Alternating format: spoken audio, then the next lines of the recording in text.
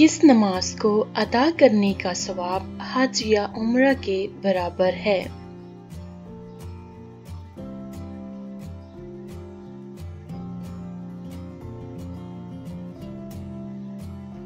नमाज़ इशराक को अदा करने का सवाब हज या उम्र के बराबर है। तवाफ का मतलब क्या है?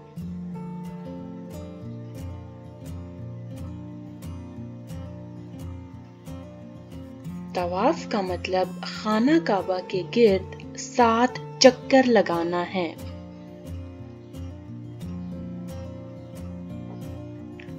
तवाफी जियारत किसे कहते हैं?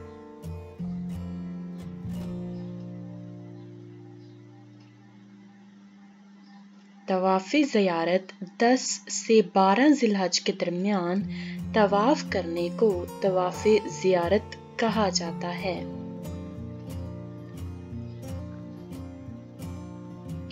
तवाफी कदूम किसे कहते हैं?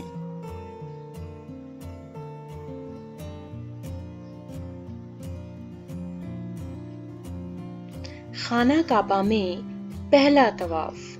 खाना काबा को देखते ही जो पहला तवाफ किया जाता है, उसको तवाफे कदूम कहते हैं। तवाफे विदा किसे कहते हैं?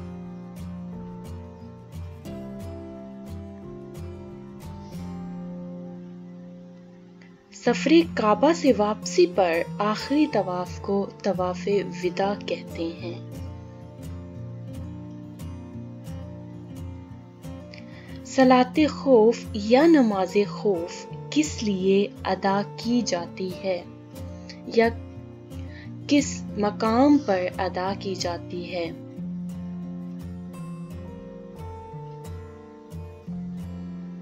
सलात खौफ जंग के दौरान या जंग के मकाम पर उस दौरान अदा की जाती है।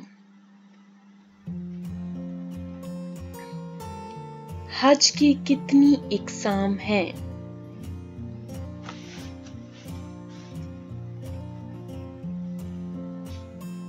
हज की तीन इकसाम है।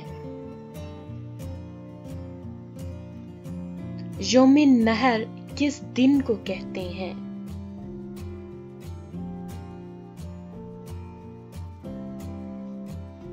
हज के दौरान कुर्बानी के दिन को योम नहर कहा जाता है।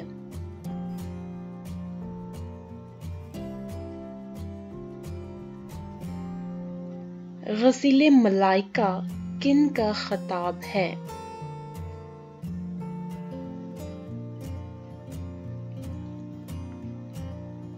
हज़रत हंजला का खिताब गसील मलाइका है।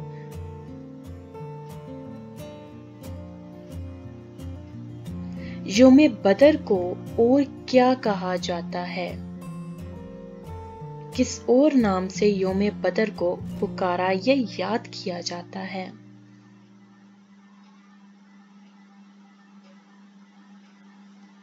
योम फुरकान भी कहा जाता है। वीडियो देखने का शुक्रिया और अच्छी अच्छी वीडियो के लिए हमारा चैनल सब्सक्राइब करें। अगर आपको ये वीडियो पसंद आई तो लाइक और शेयर ज़रूर करें और अपनी राय कमेंट्स में ज़रूर दें। अल्लाह हाफिज़।